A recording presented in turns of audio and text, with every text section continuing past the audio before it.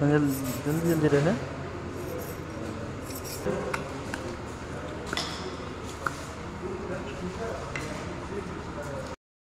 नमस्कार दोस्तों, कैसे आप सब? स्वागत है फिर से आपके एक नए वीडियो में। दोस्तों, आज जो दुबई का इंटरव्यू चल रहा है एल्डन इंटीरियर डिज़ाइन दुबई, उसमें मैंने आपको बताया था कि return Gulf experience furniture carpenter चाहिए, लेकिन अभी क्लाइंट की रिक्वायरमेंट है कि अगर आपको अच्छा काम आता है और इंडिया में ही आप काम किए हैं, विदेश नहीं गए हैं गल्फ एक्सपीरियंस आपके पास नहीं है तो भी आप कल आ सकते हैं। सुबह नौ बजे से इंटरव्यू स्टार्ट हो जाएगा। इसी कंपनी के लिए सैलरी जो आपको मिलेगा 1100 से 1500 के बीच में आपका सैलरी होगा।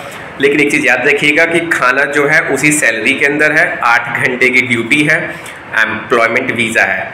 तो जो मेरे भाई फर्नीचर कारपेंटर हैं, सिर्फ़ फर्नीचर कारपेंटर क्योंकि क्लाइंट को बहुत बड़ा एक और प्रोजेक्ट मिला है, जिसके अंदर उसको केवल फर्नीचर कारपेंटर चाहिए।